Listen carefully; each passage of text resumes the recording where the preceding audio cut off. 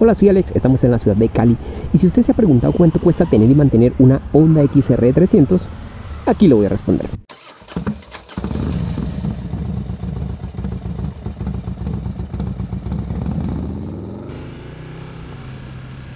Bueno, para empezar, miremos cuánto cuesta la propia moto. En Colombia, Honda comercializa dos versiones de esta moto, la estándar y la rally, cuya única diferencia es la pintura. La estándar está costando 15.690.000 pesos según la página oficial de Honda. Se debe tener en cuenta que sobre ese valor hay que agregar otros costos, como matrícula, SOAT e impuestos, cuyo costo tiende a aumentar el precio de la moto en unos 500-600 mil pesos. Es decir, para usted poder sacar la moto del concesionario necesita tener en el bolsillo más o menos unos 16 millones 300 mil pesos. Debo decir que con este mismo dinero en Brasil usted consigue la nueva versión de la XR300 que viene full LED en los direccionales, farola y stop. Viene con nuevos carenajes, tiene ABS y tiene además 3 años de garantía. Ese modelo se prevé que llegue para finales del 2019 o 2020 ya. Y dadas las comparaciones que estoy haciendo en este momento, es posible que suban unos 2 o 3 millones del valor que tiene actualmente la moto estándar en Colombia.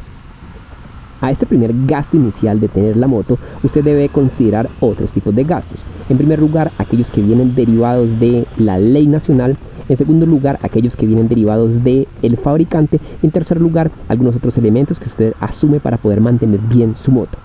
Entonces vamos a los detalles. El gobierno nacional le exige pagar a usted tres tipos de cosas, independientemente si usted rueda o no con su moto.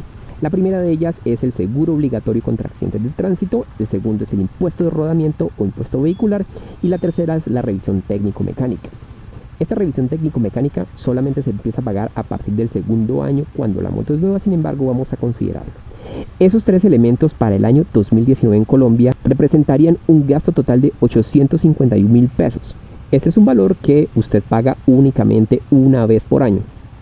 Vamos en detalle al segundo tipo de gastos que usted debe tener y estos ya no son reglamentados por el gobierno nacional sino por el propio fabricante y están allí determinados por el manual del propietario y el manual de mantenimientos. A diferencia de los gastos que usted tiene que hacer por cuenta del gobierno, estos de aquí sí dependen de la cantidad de kilómetros que usted anda así que estos pueden variar en función de si usted anda más o menos. Pero para hacer más comprensible y didáctica la explicación, vamos a imaginar que usted rueda 1000 kilómetros por mes, es decir, 12.000 kilómetros en un año. Esto es posible ya que esta moto no está pensada únicamente para andar de la casa al trabajo. Si uno compra esta moto es porque está pensando en hacer viajes largos, así que posiblemente usted va a andar más o menos entre 800 y 1000 kilómetros por mes.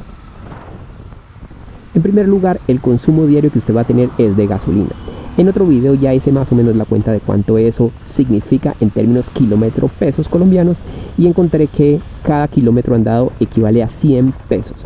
Es decir, si usted anda 12.000 kilómetros en un año, le va a costar 1.200.000 la gasolina. En segundo lugar está el tema del aceite.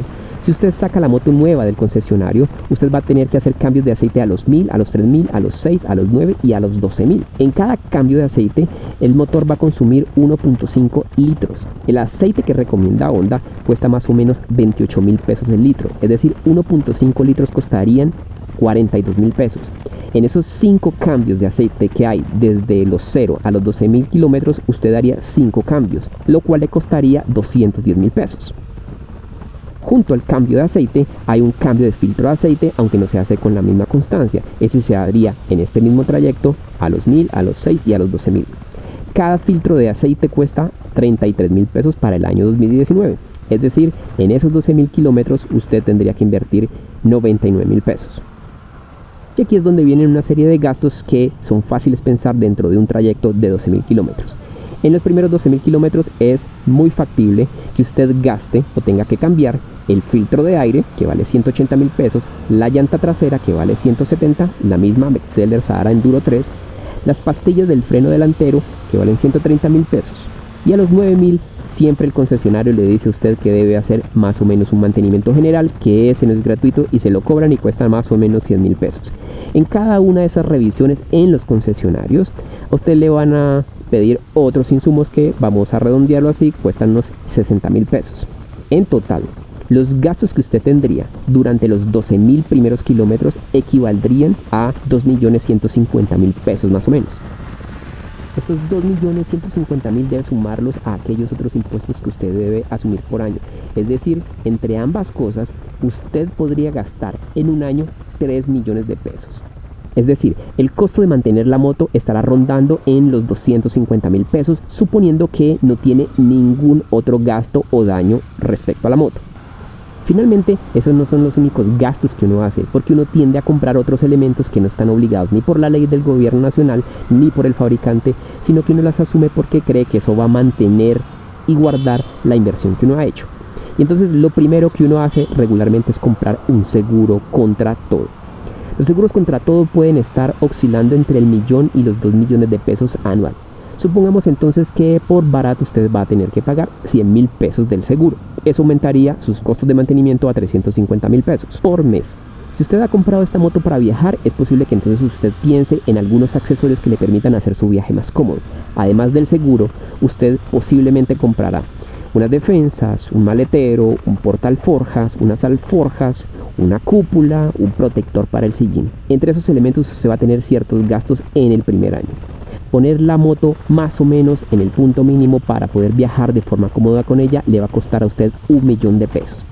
En resumen, sacar esta moto del concesionario con el derecho a rodar por el suelo colombiano y tenerla en el punto mínimo para poder viajar en ella de forma cómoda implica más o menos una inversión inicial de 17 millones y medio. Y además de ello usted debe estar preparado para un gasto mensual alrededor de 300 mil pesos.